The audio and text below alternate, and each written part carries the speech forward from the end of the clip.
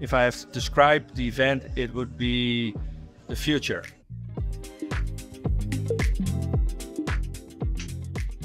I think it's good to see that a lot of people are new to this and uh, getting inspired by a tea pairing or a homemade iced tea uh, and the story behind.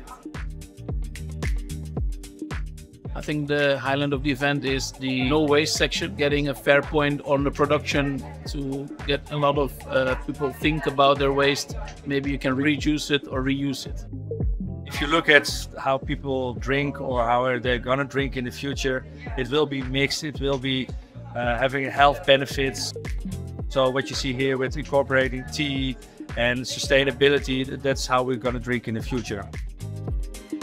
There's no point in a business if you're extracting. The challenge is to be commercially successful, but to create social capital, to create natural capital. I really like the Earl Grey infused with vanilla as cold brew with the Karachi cauliflower. I had the, the long cocktail and it was so good. Juicy, softness, and really tasteful. The simple or the complex pairings I love because you have this feeling of one plus one uh, equals five.